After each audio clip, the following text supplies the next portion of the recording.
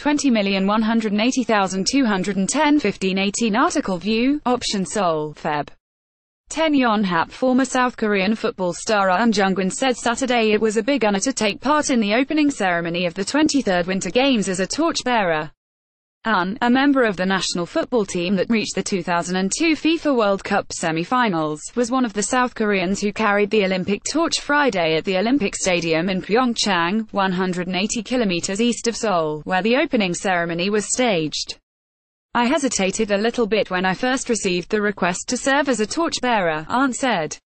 But I eventually accepted it because this was honorable work.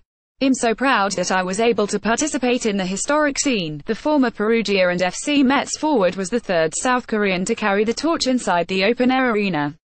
Chun Lee-kyung, a four-time Olympic champion in short-track speed skating, brought the sacred flame into the Pentagonal Arena before handing it over to Park In-bee, the 2016 Olympic gold medalist in women's golf.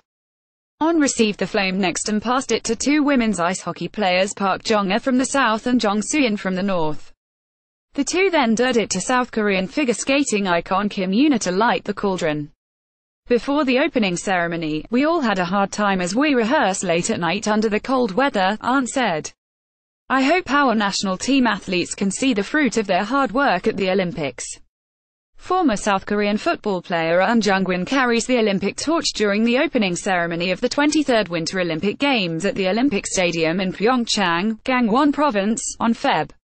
9, 2018. Yonhap the 42-year-old said he hopes that good energy from the Pyeongchang Olympics can pass on to the national footballers who await the 2018 FIFA World Cup.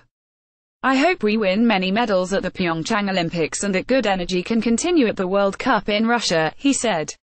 Expect our footballers to show their fighting spirit as representatives of the country. Ahn, who hung up his boots in 2012, was one of various South Korean footballers who participated in the Olympic torch relay. Former Manchester United midfielder Park Ji-sung was the first South Korean to carry the torch after the Olympic flame was lit in Greece. Others include South Korean football legend Cha Bum-kun and his son Cha Du-ri, who played for clubs like Celtic, Mainz, and Frankfurt. KDON at yna.co.krend